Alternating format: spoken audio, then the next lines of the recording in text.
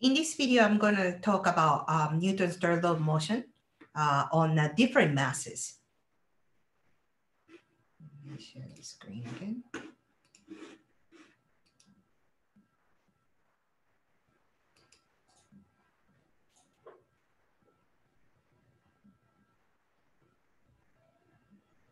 So here we, this is the Newton's third law of motion.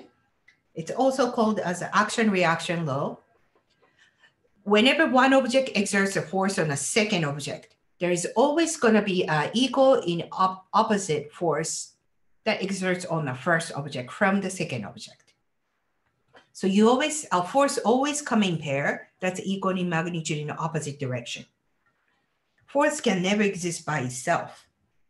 Then then also given an example of this. Even a non-contact force like gravitational force, right? Um, there's a gravitational force on apple from the earth. That means that there is a gravitational force on the earth from the apple. So even in the non-contact force, the force always come in pair. That's equal in magnitude in opposite direction. So this pair of force, the gravitational force on apple from the Earth is equal in magnitude on the gravitational force from the apple on Earth.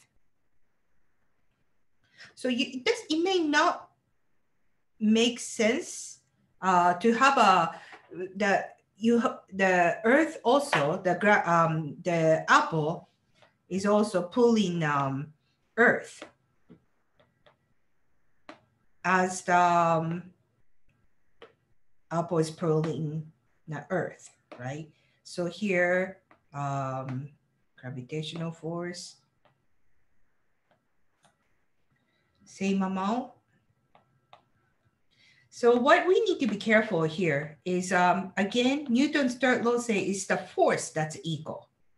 Fg on up from Earth to the apple. And this is the Fg from apple onto earth. So this, you, whenever that apple has the five Newton going down, that means that earth is pulled up by apple five Newton up.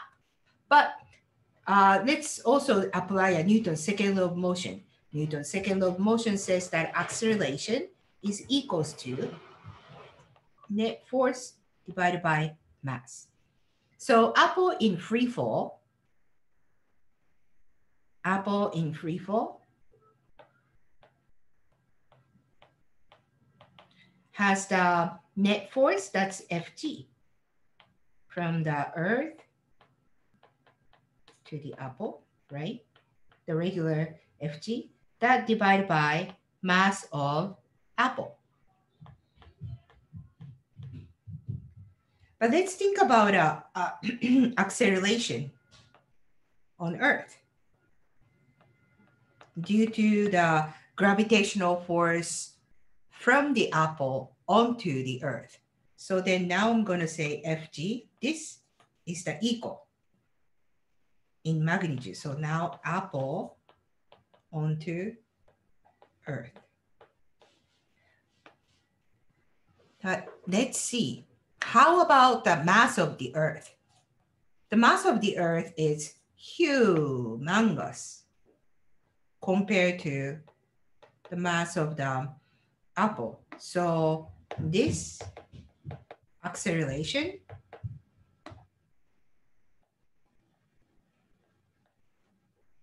is tiny, negligible. So whenever the pen is dropping, at the same time, it's pulling up the earth with the same amount of uh, same amount of uh, forces applied on earth to pull up as the pen is coming down. But the inertia, the mass of earth is so large that acceleration, earth doesn't really move. So be careful what is uh, equal and do not ever say just don't you just say gravity gravity gravitational force force gravitational acceleration they're all different right um, force is not the same as acceleration. So then um, here you say there is a same force, same exa- uh, same magnitude of a force applied on the Earth and on the apple. However, acceleration on the Earth is negligible because the inertia, the mass of the Earth is so much larger than the mass of the apple. So that's why Earth really doesn't move, although there is a gravitational force to pull up when the pen is coming down or apple is coming down. Um, similarly, you're going to think the same thing with the guns too, right? When you shoot a gun, the bullet comes out. So the force to pull the bullet outwards, it's going to be the same amount of force that's applied on the gun. Um, so exact same force is going to apply on the gun uh, in a backward direction. That's recoil. Um, or think about a cannon and a cannonball. So cannon.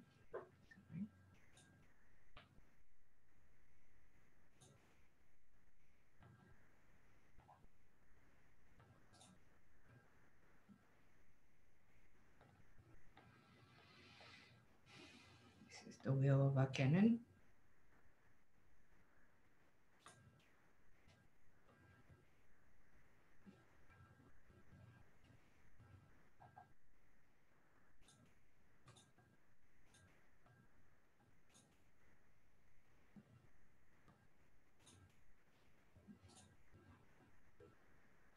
Let's see, cannon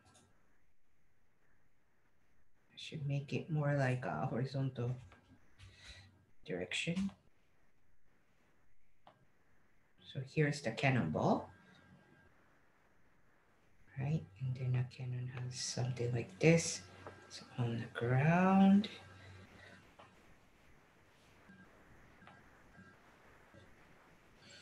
So when you when you shoot the cannonball, then it's going to be an enormous force applied on the cannonball.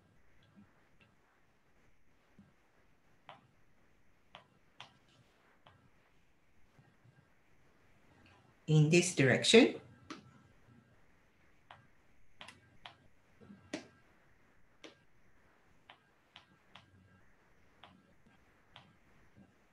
Right? And that means that there's going to be an exact same amount of force also applied on the cannon.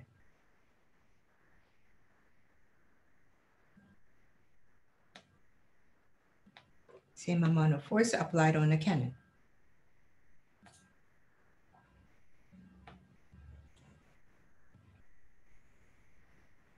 And this is like a recoil. So cannonball, let's look at the acceleration on a cannon ball, cannonball. So cannonball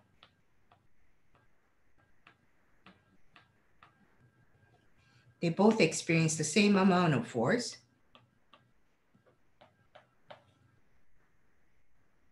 Cannonball's acceleration is the force divided by the mass of the cannonball ball. That's equals to the acceleration of the ball.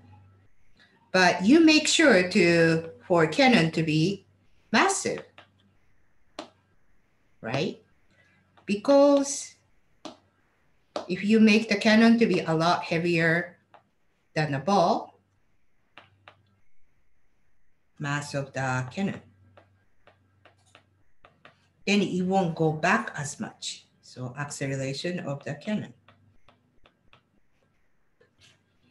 So the forces that equals in opposite opposite to each other, but you see that it's not necessarily you're going to have the same motion because that would be depends on the inertia, the mass of the object. And again, the forces applied on the object one from the two, object two, that means that force is applied on the object two from the one. So it's always applied on a different object. So again, make sure uh, you guys don't get confused with the acceleration, force, mass, and be clear when you discuss um, motion and physics. Be, be clear if you're talking about acceleration, are you talking about force? Are you talking about mass? And all that. All right. So it's a short video. I guess I could.